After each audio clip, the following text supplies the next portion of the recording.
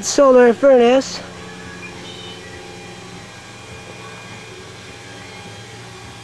It's been in the sun about half hour maybe.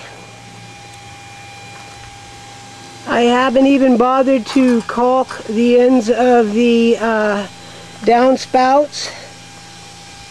So it's probably got quite a bit of leakage. But it's working, it's operational. The fan's hooked up.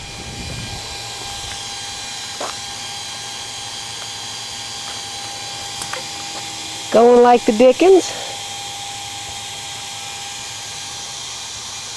And we have a thermostat in the end. With the fan going, it is at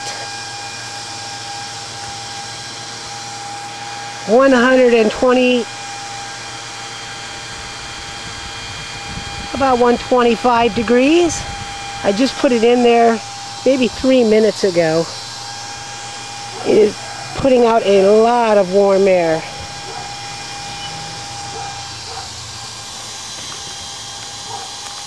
And there it is.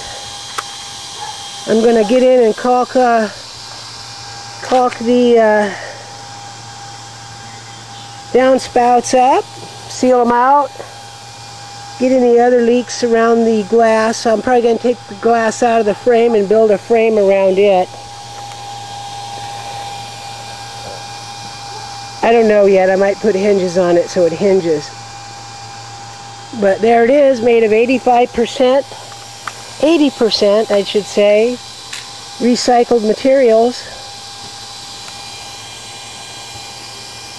Solar furnace.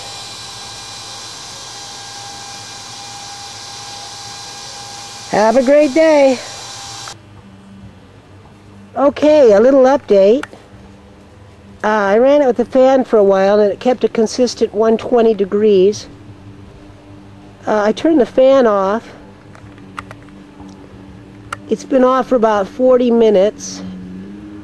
It's 150 degrees now, just convecting, and still rising. The unit, like I said before, has not been sealed properly. It's not been, it hasn't been caulked. And I can tell there's places around it where it's leaking. So she's probably running at maybe 70% her ability.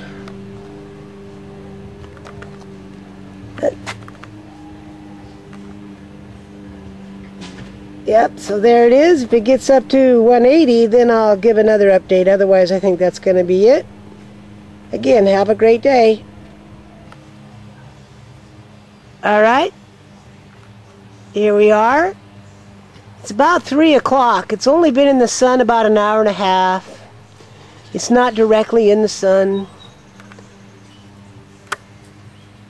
And there it is, 160 degrees. I'm really pleased with it. And I think once I do get it sealed up,